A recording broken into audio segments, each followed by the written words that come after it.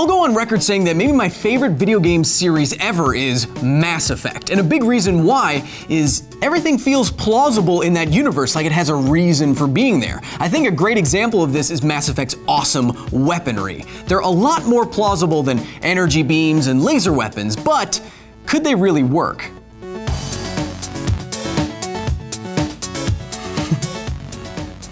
In the Mass Effect universe, most races are outfitted with guns that use a special element called Element Zero in conjunction with electric fields to propel projectiles at kinetically crunching speeds. The game itself says this happens because of electromagnetic acceleration, but is this more science or fiction? We call it electromagnetism because electricity and magnetism are intertwined in physics. One can create and have an effect on the other, and one of those effects is called the Lorentz force. I should go.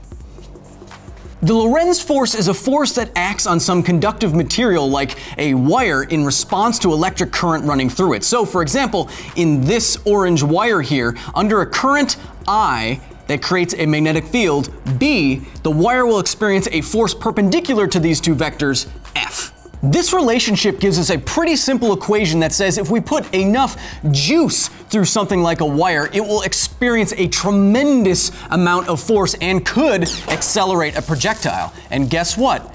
We already have a weapon that does this. It's called a railgun, and it's a weapon scary enough to scare the Reapers. After some Calibrations, of course. A railgun is a weapon that uses electricity to accelerate projectiles to speeds that conventional weapons just cannot reach. Here is the Navy testing a railgun, firing a projectile at over 2 kilometers per second with the energy of a school bus moving at 500 kilometers per hour.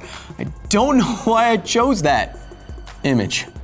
A railgun achieves these speeds using the Lorentz force we just learned about. So inside of a railgun you find two rails, hence the name, and an armature going across them, or like the wire in our example. So when a railgun fires, a massive amount of electricity flows through the rails, creates a magnetic field near the wire, which forces it out of the gun at crazy speeds. Assuming direct control. Who dis? But the Lorentz force isn't massive, so railguns use an enormous amount of electricity, like 5 million amps worth, or a million times more than you'd find in something like a Tesla coil. And when this happens, it creates a magnetic field inside of the weapon that's many times stronger than even an MRI. And so, Using the Lorentz equation and knowing how far apart a railgun's rails are, we can calculate that railguns produce a tremendous amount of force to accelerate their projectiles, like the same amount of force that a space shuttle engine puts out. Knowing that we already have electromagnetic weapons, just how realistic are massive surprise Omni tool?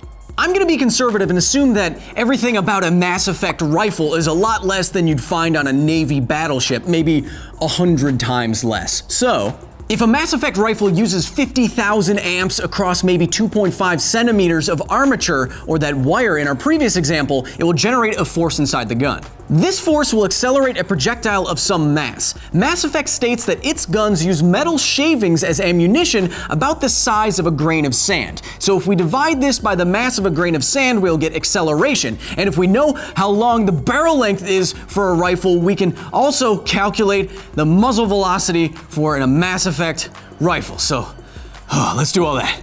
And if you do that, it gives you a muzzle velocity of around 86 kilometers per second. The only question now is, could a sand grain sized piece of debris going this quickly really do Mass Effect level damage? Absolutely. This is a photo of a hypervelocity impact using a similarly sized piece of debris as we did in our calculations, only this is at the NASA Ames research facility and moving 10 times slower. Notice the general destruction and emission of light? NASA uses debris tests like these because even a small piece of metal moving this quickly could pierce through the ISS, or an astronaut, or a Blue Suns Merc. So yes, Mass Effect guns could totally work in real life, just like railguns do now. The only thing we'd have to figure out in the next few centuries would be how to fit a building-sized power source into a rifle and deal with the recoil that would probably turn your body into red goo. Other than that, we're good because science. I'm just gonna Wait in this elevator for the next part of the video to load.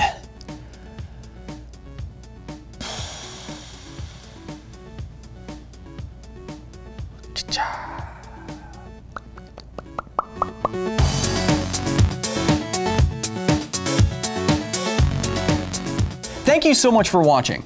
The only part of the Mass Effect gun explanation that doesn't really work is that in the codex it says that a sand grain sized piece of metal moving at the speeds that it comes out of the gun could produce nuclear bomb level energy levels.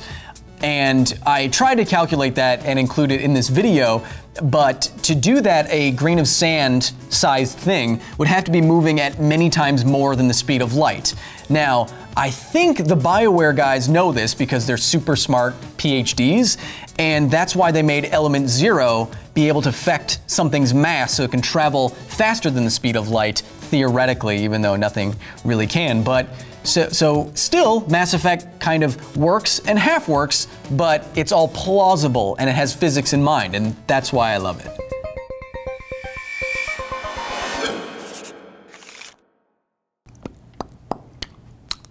Do you know what's a good way to think about how fast kilometers per second is or miles per second? The International Space Station is orbiting around Earth at a few miles per second, and my favorite comparison is by XKCD and Randall Munroe. The, the amount of time it would take for the ISS to cross a football field from, you know, 100 yards is so fast that the ISS would cross the uh, 100 yard point before a bullet fired at the other end would reach the 10 yard line. That's how fast we're talking with these rifles and stuff like that. But who who am I who am I talking